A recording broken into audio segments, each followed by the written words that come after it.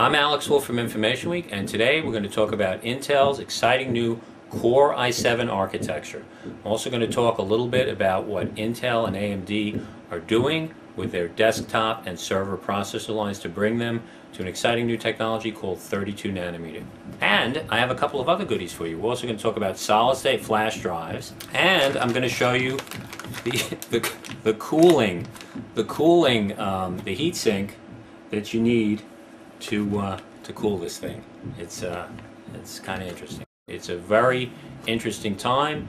Uh, amid the recession, there's a lot of technology development going on. Let's get started with some demos.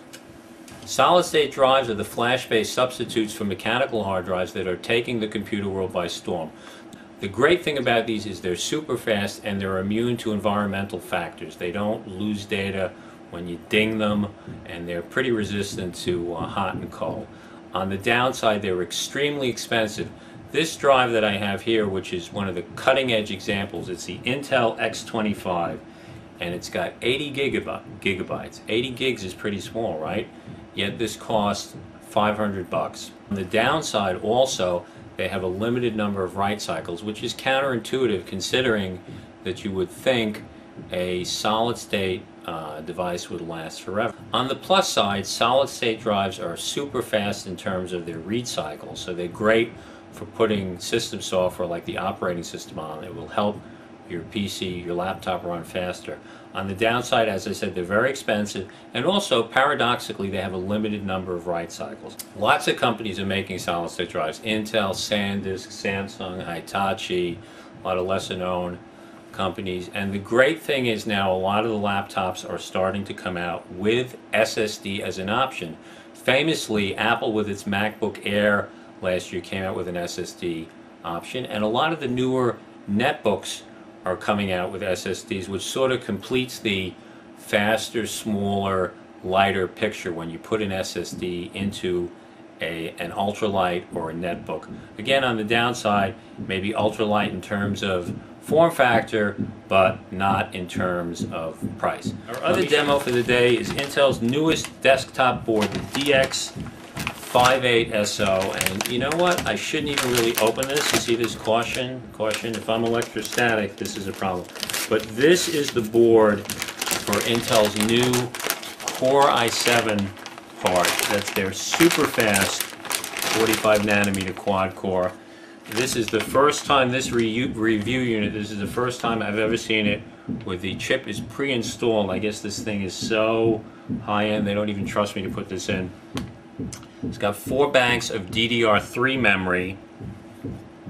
Um, this is a pretty compact motherboard. One thing you don't see is the amount of cooling required. Let me show you that. These things generate a lot of heat a lot of heat. This is a Thermalright, and you will. This will be unbelievable when you see how big this heatsink is.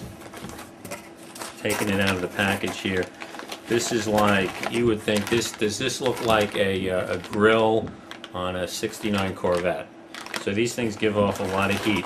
The point I want to make about these chips now is it is what interests me and what I've been writing about is it's sort of the zen of chips. Now, chip processing power is essentially, MIPS are free. Processing power is ubiquitous, it's free. On the other hand, chips like these are expensive. Well, the high end of the line costs 1100 You can get a competitive Core i7 processor for under $250. So if you're a if you're doing any video editing at home or anything which requires um, some processing power, you would do well to get this kind of thing. So the other interesting thing now is we are headed, Moore's Law continues, Moore's Law, uh, Gordon Moore, one of the co-founders of Intel, postulated in 1965 that the, the processing power would double every 18 months, or the number of gates you could put on a given slice of silicon would double 18 months. That has borne true, that is held for the past 40 years, notwithstanding the fact that we have several times come to sort of an end of days scenario the chip world where the feature sizes on these microprocessors have gotten so small that it's been thought that engineers could not continue to pack more gates onto them. So they've done, they've had to do some tricks. Intel, for example, has gone to a high K dielectric, which is a new type of material which eliminates a problem called leakage current. Leakage is when you have the features too close together, it doesn't work just it doesn't work quite right. Current leaks out of the gates. Also, the industry, Intel and AMD, in 2005, they had to stop uh, pushing the clock speed forward because the power dissipation was getting too high. These chips were throwing off too much wattage and becoming impossible to cool. So they had to go to a dual and quad core scenario so that they could essentially bifurcate, split the processing into different areas and rein in the um, power dissipation envelope. I'm oversimplifying, of course, but the key point I'm trying to make is the roadmap where we go ever forward of increased processing power has continued unabated for 40 years, over 40 years, and it's continuing now. Now let's talk about feature size. Feature size again is the, the microscopic width of the smaller features on the chip. It's progressed from 130 nanometers to 64, 45. We're at 45 nanometers now. That's the current generation. Intel has been out for about a year. AMD has already released, uh, is just releasing its 45 nanometer parts. And Intel has had 45 nanometer parts for about a year.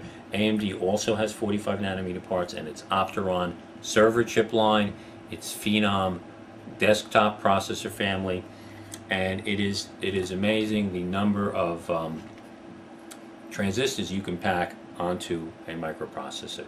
Moving forward, next year in 2010, we should see 32 nanometers. That will increase processing power um, even more. So to close, again, we're, we're at, this is the golden age of processing. And the other point is, my, my idea about the zen of processing is you see processing now is moving into the cloud. It's, it's so cheap, it's ubiquitous.